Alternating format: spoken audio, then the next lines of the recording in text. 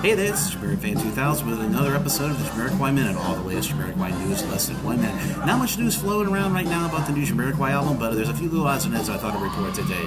Alright, the first news piece, uh, the Jamiroquai uh, SoundCloud page has been recently updated with over 300 Jamiroquai remixes, album tracks, and B-sides, and lots of other good goodness. Um, the second bit of news, uh, we're here in September 2016, and we are celebrating the 20th anniversary of the release of the groundbreaking Jamiroquai video from 1996, Virtual Insanity, and of course the 20th anniversary of the third mainstream, really well selling Jamiroquai album, Travelling Without Moving.